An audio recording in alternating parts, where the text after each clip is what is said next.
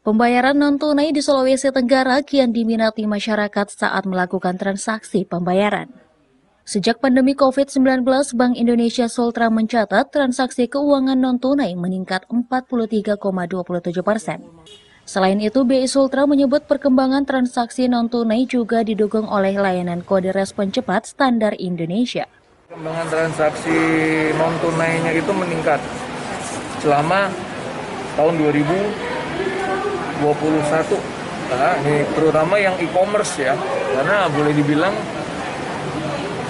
masyarakat kita sudah mulai lebih terbiasa belanja secara online gitu.